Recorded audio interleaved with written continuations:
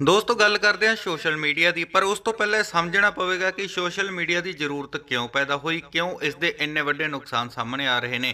ਕਿਸੇ ਸਮੇਂ ਜਦੋਂ ਪੁਰਾਣੇ ਪੁਰਾਤਨ ਸਮਿਆਂ ਦੇ ਵਿੱਚ ਇਨਸਾਨ ਨੇ ਇੱਕ ਦੂਜੇ ਨੂੰ ਕੋਈ ਸੁਨੇਹਾ ਦੇਣਾ ਹੁੰਦਾ ਸੀ, ਤਾਂ ਚਿੱਠੀਆਂ ਤੇ ਕਬੂਤਰਾਂ ਦੇ ਰਾਹੀਂ ਜਾਂ ਫਿਰ ਬੰਦਾ ਭੇਜ ਕੇ ਸੁਨੇਹਾ ਦਿੱਤਾ ਜਾਂਦਾ ਸੀ। ਸਮਾਂ ਬਦਲਦਾ ਗਿਆ, ਖੋਜ ਕੀਤੀ ਗਈ ਟੈਲੀਫੋਨ ਦੀ, ਜਿਸ ਦੇ ਜ਼ਰੀਏ ਮਿੰਟਾਂ ਸਕਿੰਟਾਂ ਦੇ ਵਿੱਚ ਦੂਰ ਦਰਾਡੇ ਗੱਲ ਪਹੁੰਚਣ ਲੱਗੀ। ਕਹਿੰਦੇ ਹਨ ਕਿ ਇਨਸਾਨੀ ਮਨ ਹਮੇਸ਼ਾ ਹੀ ਤ੍ਰਿਪਤ ਨਹੀਂ ਹੁੰਦਾ, ਹਮੇਸ਼ਾ ਹੀ ਅੱਗੇ ਕੋਈ ਨਾ ਕੋਈ ਹੋਰ ਮੰਗ ਮਨ ਦੇ ਵਿੱਚ ਉੱਠਦੀ ਹੀ ਰਹਿੰਦੀ ਹੈ। ਉਸੇ ਤਰ੍ਹਾਂ ਹੀ ਫਿਰ ਮੰਗ ਉੱਠੀ ਕਿ ਕਿਉਂ ਨਾ ਇੱਕ ਦੂਜੇ ਨੂੰ ਸਾਹਮਣੇ ਦੇਖ ਕੇ ਸੁਨੇਹਾ ਦਿੱਤਾ ਜਾਵੇ ਅਤੇ ਉੱਥੇ ਹੀ ਟੈਕਨੋਲੋਜੀ ਨੇ ਵਿਕਸਿਤ ਕਰਨ ਤੋਂ ਬਾਅਦ ਇਹ ਖੋਜ ਕੀਤੀ ਜੋ ਵੀਡੀਓ ਕਾਲ ਦੇ ਰਾਹੀਂ ਇੱਕ ਦੂਜੇ ਨੂੰ ਦੇਖਣ ਲੱਗੇ ਤੇ ਇਹਨਾਂ ਦਾ ਹੀ ਇੱਕ ਜਰੀਆ ਸੀ ਸੋਸ਼ਲ ਮੀਡੀਆ, ਜਿਨ੍ਹਾਂ ਦੇ ਵਿੱਚ ਇੰਸਟਾਗ੍ਰam ਫੇਸਬੁੱਕ ਆਦਿ YouTube ਪ੍ਰਮੁੱਖ ਹਨ, ਜਿਨ੍ਹਾਂ ਜਰੀਏ ਇੱਕ ਦੂਜੇ ਦੇ ਨਾਲ ਗੱਲ ਹੋਣ ਲੱਗੀ, ਆਪਣੇ ਵਿਚਾਰ ਸੋਸ਼ਲ ਮੀਡੀਆ ਤੇ ਪ੍ਰਚਲਿਤ ਹੋਣ ਲੱਗੇ। ਲੋਕ ਆਪਣੇ ਵਿਚਾਰ ਦੂਰ ਦਰਾਡੇ ਤੱਕ ਪੂਰੀ ਦੁਨੀਆ ਦੇ ਵਿੱਚ ਪੇਸ਼ ਕਰਨ ਦੇ ਲਈ 1 ਸਕਿੰਟ ਦਾ ਸਮਾਂ ਲੱਗਦਾ ਸੀ। ਪਰ ਉੱਥੇ ਦੋਸਤੋ ਕਹਿੰਦੇ ਨੇ ਕਿ ਜਿਹੜੀ ਚੀਜ਼ ਦਾ ਫਾਇਦਾ ਹੁੰਦਾ ਹੈ, ਉਹਦਾ ਕੋਈ ਨਾ ਕੋਈ ਨੁਕਸਾਨ ਵੀ ਹੁੰਦਾ ਹੈ।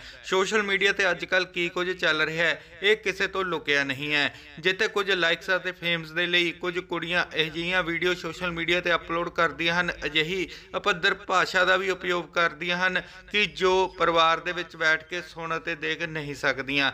ਅਜਿਹੀ ਸੋਸ਼ਲ ਮੀਡੀਆ ਪਲੇਟਫਾਰਮ ਨੇ ਇੱਕ ਔਰਤ ਦੀ ਜਾਨ ਲਈ। ਜੀ ਹਾਂ ਦੋਸਤੋ, ਤੁਸੀਂ ਆਪਣੀ ਸਕਰੀਨ ਤੇ ਜਿਸ ਔਰਤ, ਜਿਸ ਕੁੜੀ ਦੀ ਵੀਡੀਓ ਦੇਖ ਰਹੇ ਹੋ, ਉਸ ਦੀ ਜਾਨ ਸਿਰਫ ਸੋਸ਼ਲ ਮੀਡੀਆ ਦੇ ਚਸਕੇ ਕਰਕੇ ਹੀ ਚਲੀ ਗਈ ਹੈ, ਜੋ ਕਿ ਸੋਸ਼ਲ ਮੀਡੀਆ ਇੰਸਟਾਗ੍ਰam ਤੇ ਆਪਣੀ ਰੀਲਸ ਵਗੈਰਾ ਪਾਉਣ ਲੱਗੀ ਅਤੇ ਦੇਖਦੇ ਹੀ ਦੇਖਦੇ ਉਹਨੂੰ ਲੋਕਾਂ ਦੇ ਨਾਲ ਜੋੜਨ ਦਾ ਅਤੇ ਆਪਣੇ ਆਪ ਨੂੰ ਲੋਕਾਂ ਦੇ ਵਿੱਚ ਮਸ਼ਹੂਰ ਕਰਨ ਦਾ ਅਜਿਹਾ ਖੁਮਾਰ ਸਿਰ ਦੇ ਉੱਪਰ ਚੜਿਆ ਕਿ ਉਹ ਸਾਰਾ ਸਾਰਾ ਦਿਨ ਇਸੇ ਫੋਨ ਤੇ ਇੰਸਟਾਗ੍ਰam ਤੇ ਰੀਲਸ ਬਣਾਉਣ ਤੇ ਬਿਤਾਉਣ ਲੱਗੀ। ਉਸ ਦੇ ਪਤੀ ਨੇ ਕਈ ਕਈ ਵਾਰ ਉਸ ਨੂੰ ਪਿਆਰ ਨਾਲ ਬੈਠ ਕੇ ਸਮਝਾਇਆ ਵੀ, ਕਈ ਵਾਰ ਝਿੜਕਿਆ ਵੀ, ਪਰ ਉਸ ਦੇ ਵਿੱਚ ਸੋਸ਼ਲ ਮੀਡੀਆ ਤੇ ਮਸ਼ਹੂਰ ਹੋਣ ਦੀ ਅਜਿਹੀ ਭੁੱਖ ਲੱਗੀ ਕਿ ਉਹ ਸਾਰੀਆਂ ਗੱਲਾਂ ਨੂੰ ਦਰਕਿਨਾਰ ਕਰਨ ਲੱਗੀ, ਜੋ ਕਿ ਉਸ ਦੀ ਜਾਨ ਦੇ ਜੋਖਮ ਦਾ ਕਾਰਨ ਬਣੀ। ਜਾਂ ਦੋਸਤੋ ਉਸ ਦੇ ਪਤੀ ਨੇ ਇਸ ਔਰਤ ਦੀ ਸ਼ੌਲ ਦੇ ਨਾਲ ਗਲਾ ਘੁੱਟ ਕੇ ਮੌਤ ਕਰ ਦਿੱਤੀ ਹੈ, ਕਤਲ ਕਰ ਦਿੱਤਾ ਹੈ, ਕਿਉਂਕਿ ਉਸ ਨੂੰ ਨਹੀਂ ਪਸੰਦ ਸੀ ਉਸ ਦੀ ਪਤਨੀ ਦਾ। ਸੋਸ਼ਲ ਮੀਡੀਆ ਤੇ ਇਸ ਤਰ੍ਹਾਂ ਰੀਲਸ ਬਣਾਉਣਾ, ਕਿਉਂਕਿ ਆਲੇ ਦੁਆਲੇ ਅਤੇ ਉਸ ਦੇ ਜਾਣ ਪਹਿਚਾਣ ਵਾਲੇ ਉਸ ਨੂੰ ਟੌਂਚ ਕੱਸਦੇ ਸਨ।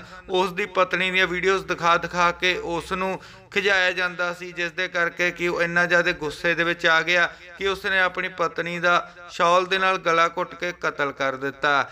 ਦੱਸ ਦਈਏ ਕਿ ਇਹ ਔਰਤ ਸੋਸ਼ਲ ਮੀਡੀਆ ਤੇ ਕਾਫੀ ਜ਼ਿਆਦਾ ਰੀਲਸ ਬਣਾਉਂਦੀ ਸੀ ਅਤੇ ਇਸ ਦੇ ਪਤੀ ਵੱਲੋਂ ਇਸ ਨੂੰ ਪਹਿਲਾਂ ਰੋਕਿਆ ਵੀ ਗਿਆ ਸੀ। ਤੁਹਾਡਾ ਕੀ ਕਹਿਣਾ? ਅੱਜ ਕੱਲ ਰੀਲਸ ਅਤੇ ਸੋਸ਼ਲ ਮੀਡੀਆ ਦੇ ਇਸ ਤਰ੍ਹਾਂ ਵੱਧਦੇ ਪ੍ਰਚਲਨ ਬਾਰੇ ਜਰੂਰ ਕਮੈਂਟ ਕਰਨਾ ਤੇ ਹੋਰ ਤਾਜ਼ਾ ਖਬਰਾਂ ਦੇ ਲਈ ਬਣੇ ਰਹਿਣਾ ਲਿਮਟਿਡ ਗਿਆਨ ਦੇ ਨਾਲ ਤੇ ਫਿਲਹਾਲ ਇੱਥੇ ਸਾਨੂੰ ਦਿਓ ਇਜਾਜ਼ਤ। ਧੰਨਵਾਦ।